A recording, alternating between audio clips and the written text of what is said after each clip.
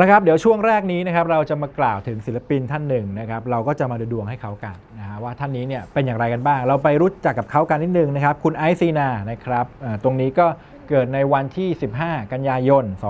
2536 นะครับคุณไอซ์ซีนานะครับหรือว่าไอซ์สุพักจิราศรีบุญมา เป็นสาวลูกครึ่งนะครับไทยออสเตรีย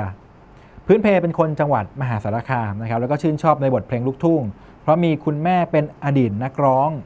แล้วก็ได้ยินคุณแม่เนี่ยร้องเพลงลูกทุ่งมาตั้งแต่เด็กนะครับ โดยเพลงแรกในชีวิตที่ทำให้สาวลูกครึ่ง คนนี้ชื่นชอบในบทเพลงลูกทุ่งก็คือ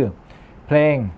ดาวเรืองดาวโรยของพุ่มพวงดวงจันทร์นั่นเองนะครับซึ่งถือเป็นบทเพลงแรกที่ทำให้เธอก้าวสู่เวทีการประกวดร้องเพลง ตั้งแต่อยู่ชั้นป .5 เลยทีเดียวนะครับแล้วก็หลังจากนั้นก็เดินสายประกวดเรื่อยมาเลยนะครับมากกว่าร้อยเวที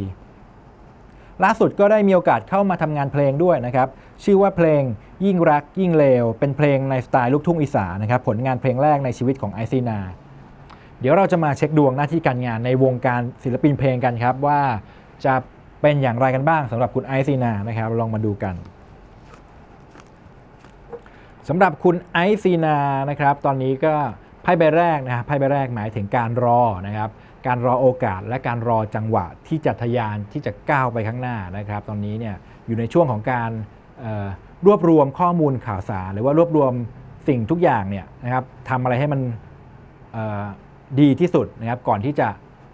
ก้าวไปข้างหน้า เช่นถ้าเกิดทำในวงการเพลงเนี่ยอาจจะหมายถึงการทำเพลงให้ครบรวบรวมข้อมูลทุกอย่างให้ครบ ก่อนที่จะเปิดตัวแบบนี้เป็นต้นนะครับไพ่ใบถัดมานะครับไพ่ใบถัดมาจะเป็นไพ่เกี่ยวกับ การที่มีผู้ร่วมงานผู้สนับสนุนที่ดีนะครับ การที่ได้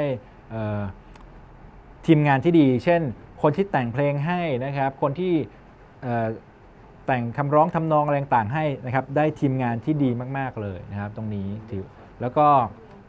ถือว่ามีผลงานที่ดีแล้วก็น่าจับตาด้วย ตรงนี้มันหมายถึงคนรอบข้างทีมงานนะครับ ปัจจัยรอบๆตัวสนับสนุนค่อนข้างดีนะครับใบสุดท้ายเนี่ยหมายถึงชื่อเสียงแล้วก็เงินทองนะครับเพราะฉะนั้นต้องบอกว่างานเยอะแน่นอน งานรุ่งพุ่งแรงนะครับงานเยอะแน่นอนเลยทีเดียวนะครับตอนนี้อาจจะกำลังรอจังหวะรออะไรบางอย่างอยู่ ในขั้นตอนสุดท้ายเพื่อที่จะเปิดตัวออกมาอีกครั้งหนึ่งก็ได้นะครับหรือว่ากำลังจะมีอะไรออกมาเร็วๆนี้นะครับ คิดว่าน่าจะได้เห็นกันในไม่ช้านี้นะครับแล้วก็จะพบกับความสำเร็จนะครับสำหรับท่านนี้